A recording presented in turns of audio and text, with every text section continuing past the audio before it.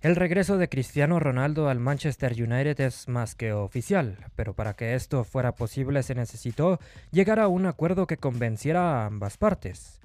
La Juventus fue el equipo que se encargó de dar a conocer los números de la transacción, donde el conjunto inglés tendrá que pagar poco más de 17 millones de dólares por el bicho, un monto que deberá liquidar en un lapso de 5 años. Esta cifra podría aumentar 9 millones si se cumplen con ciertos objetivos deportivos.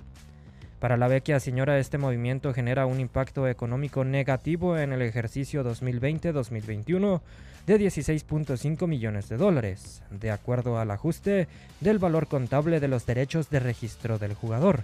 El crack portugués firmó por dos años con opción a uno más, todo para cumplir con su retorno a la Premier League 12 años después.